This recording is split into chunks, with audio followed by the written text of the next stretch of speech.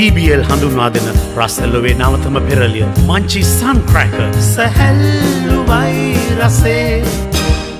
මම පක්ෂයේ ජේෂ්ඨෙක්. සහවිත ආණ්ඩුවේ මට හම්බුනේ එක්සත් ජාතික පක්ෂ ඇමතුරු. මගේ කිසිම කැමැත්තක් තිබුණේ නැහැ. මගේ අදට එක්සත් ජාතික පක්ෂයේ කිසිම සම්බන්ධකමක් නැහැ මිත්‍රෝනි. මේ දේශපාලන තීන්දුව ගත්තේ මම ඉතාමත් කැමැත්තෙන්. ස්ටේප්ලර් එක බව බාර දීලා තමයි මගේ ඉල්ලස්වීම දුන්නේ. මම ජනතාවගෙන් තීන්දුව ආයේ කිසිම අවස්ථාවක එක අඟලක්වත් මම පස්සට ගන්න නැහැ මිත්‍රෝනි. දැන් අපිට මගේ පස්සෙන් යන FCID එක බයිබල් කමිෂන් මට ප්‍රශ්නයක් නැහැ. මම හොරගම් කරලා නැහැ මිත්‍රෝනි. හොරගම් කළා මම මෙහෙම තීන්දුව ගන්නෙත් නැහැ මිත්‍රෝනි. මොකද්ද මට තියෙන චෝදනා? 2014 මැයි දිනේට අපි තමුන් අසල කාපු එක එකක්.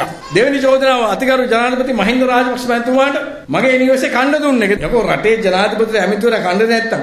අද නාගන නෙමෙයි රීගන කන්නේ මේ ආණ්ඩුව. ඇමතිවරයෙක් හැටියට මිත්‍රවරුනි හැම අවුරුද්ද සුබ පැතුම් පතක් ගහන. අන්න ඒකටත් දැන් පරීක්ෂණයක්. තුන්වෙනි චෝදනාව අර ලිතක් ගහලා තමුන්නාස දුන්නානේ. යකෝ මම බෞද්ධය ලිතක් දෙන්න බෑනේ. හතරේ චෝදනාව ලංකාව හදු පළවෙනි ගුවන් තොටුපළ. යුද්ධ කරන දවසේ අර ඉස්කෝලේ ළමයි මේ ගමයි අරන් ගියා කියලා බස් වලට කිව්වා කියන එක වැරදි කියලා තමයි මට තියෙන චෝදනා. මං හරි කැමතිව විවාහ කරනවාට මිත්‍රවරුනි. එකක් නෙමෙයි දෙකක් නෙමෙයි හිරවල් ගානක දැම්මත් මේ ආරම්භ කරු සටන තමුන්නාසත් එක්ක මම යනවා. මේ ආණ්ඩුව ගෙදර අන්න එක මගේ සටන ක්‍රියාත්මකයි කියන එක අපි මේ අවස්ථාවේ කියනවා.